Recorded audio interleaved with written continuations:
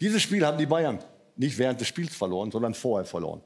Denn wenn Bayern München konzentriert mit Erledigung sämtlicher Aufgaben, die Nagelsmann der Mannschaft mit Sicherheit mitgegeben hat, erledigt, kann solch ein Ergebnis nicht zustande gekommen.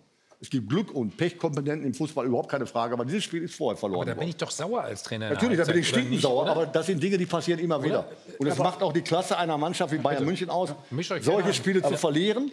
Aber Spiele, bei denen es um die alles Klasse, geht, die Klasse von Bayern macht das aus, solche Spiele zu verlieren? das, nein. Peter, was- was ich Nachdem nicht- ich, was ich solche nicht Spiele verstehe. verliere, der Unterschied was zu anderen Mannschaften, die auch gegen Bochum in solcher hervorragenden Form verlieren, ist, dass Bayern München Okay. solche Spiele verliert, aber, nicht Spiele, die der Knackpunkt äh, äh, darstellen kann. Mhm. Sprich gegen Borussia Dortmund, gegen Leipzig, dann, wenn es darauf ankommt. Mhm. Dann sind sie nämlich vorm Spiel dermaßen auf den Gegner und auf seine eigenen Fähigkeiten und sich selber fokussiert, Ja, aber was- dass sowas nicht entsteht. Was, was ich nicht verstehe, es war ja, Nagelsmann ist ja gefeiert worden, dass er so ehrlich war und gesagt hat, dass das Training am Freitag schlecht war. Alarm. Ist Alarm. Immer so, ja. Was mache ich? Da muss ich, das ist ja toll, dass er dafür gefeiert wird, aber dann bin ich doch in das der sagen? Verantwortung. Na, Also muss er das sagen? Wenn er das sagt, dann hat, ist es aus meiner Sicht ein Fehler, weil er muss als Trainer reagieren. Er hat es ja beobachtet und du als erfahrener Trainer, Richtig, das hättest du dir doch nicht bieten lassen. Er Wenn das Training schlecht läuft, wenn, Aber oder, wenn du als Spieler damals gesehen hättest, da, der wird schlecht trainiert, dann hättest du entweder als Spieler dazwischen gewichst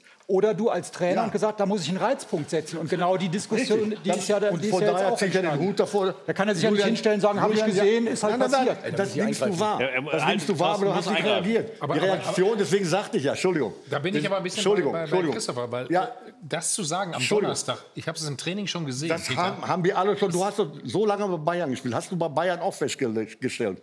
Ich habe des Öfteren nicht immer Mannschaften im Spitzenbereich trainiert. Mhm. Aber wenn ich eine Spitzenmannschaft in der zweiten Liga war, gibt es gleiche Verhaltensweisen auch. Ja. Dass du plötzlich als Trainer merkst, oh Moment mal eben, der nächste Gegner nimmt die Mannschaft nicht so ganz, nicht so ganz ernst. Also das Training, das ist Spannungsabfall. Ja, ich reagieren als im Trainer. Da Abschlusstraining muss ich was machen, Thomas. Moment, also, im Abschlusstraining merkst Peter, du das. Peter, Peter. Jetzt jetzt die Sache, die ich gerade angesprochen habe. Dieses Spiel verlierst du vorher und nicht innerhalb der Halbzeit oder während des laufenden Das Spiels. sagst du ja. Ja, aber, aber du kannst doch als. Trainer eingreifen. Also Nein, dann, dann machst das du hat- beim das- Training, sagst, deswegen- pass auf, ja, gehen alle Moment, rein. Moment, ich habe keinen Bock mehr, dir das Moment. Jetzt lass doch Thorsten auch mal was deswegen- sagen. Nein, Erzählt Peter, ich weiter. unterbrochen. dann- In der Argumentation da musst du handeln als Trainer. Könnt ihr noch- Das ist doch der, das ist doch der einzige Fehler. Und da ziehe ich den Hut vom, vom, von Nagelsmann. Das sagt er doch. Er hätte jetzt doch sag mal du doch mal, handeln müssen. hättest du dir das Aber bieten Peter, lassen, wenn die Mannschaft schlecht trainiert? Ich weiß, Darum ich, weiß, ich, weiß, ich weiß, was der Peter sagen will, aus Sicht seines äh, aus Trainersicht. Ich sag dir ganz ehrlich, Peter, noch einmal, ich gebe dir da vollkommen recht, dir auch. Mhm. Aber wenn ich als Spieler erkenne, und ich bin etablierter Spieler, und ich bin über? Jahre, da- ja, hör zu, Ja. und ich sehe, dass da so eine Kacke abgelaufen wird, ja, am Donnerstag. Dann gerät ich mal dazwischen, Klar. mach mal einen Stopp. Das habe ich auch getan, in Stuttgart, in Bremen. Ist egal, ob mit JJ Okocha oder sonst was. Da habe ich gesagt, bis mal auf, ihr Pisser. Trainiert, wir haben am Sonntag oder am Samstag ein Riesenspiel vor uns. Das könnte ein neun Punkte, das, das ist ein Sechs-Punkte-Spiel. Wir können uns absetzen.